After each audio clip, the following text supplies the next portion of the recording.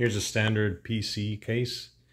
Um, you can see it's there's nothing to it. It's an old case that I found. I actually uh, salvaged this from uh, the trash at work.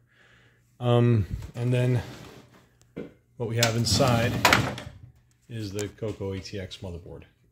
you can see there's the backplane ATX style um, board. It you know, fits right in there. You got all the cards that I showed you earlier. And I've wired in the power button, the reset button, and the LED. If you look back here, you'll have, uh, you'll see that we have the sort of standard you know, Coco or, um, connectors here. Here's that USB um, adapter here, the USB port here, so where we have the dongle for the wireless keyboard and uh, a DB9 female uh, serial port here.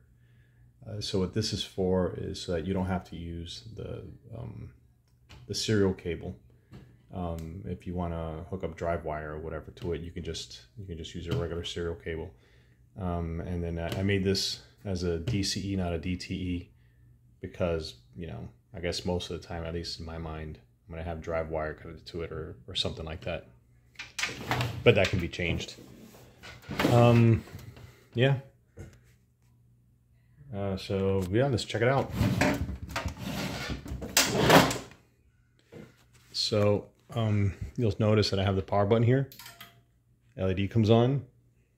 And then we have Coconus over here. I can type away. I've also wired in the reset button. So you can do this. And you can reset it. You know, again, you can power it off and you can power it on. And yeah, that's it. That's what it looks like in the case. Obviously, if you have imagination, you can figure out what to use these bays for. Um, I think I might implement some sort of MPI or whatever that goes in here and then you know comes out the front. I don't know yet. Um, well, yeah, now I can I can play. I can you know do a lot of hardware stuff now a little bit easier. Uh, but first I had to figure out how to get the GIME card working in here because it wasn't quite working. I mean, there was some life, but it's not not working. And that there's the GIME card. In theory, I can swap the VDG SAM card out with this and we have a Coco 3. But uh, that's down the road. But for now, voila. Coco 2 and an ATX style case.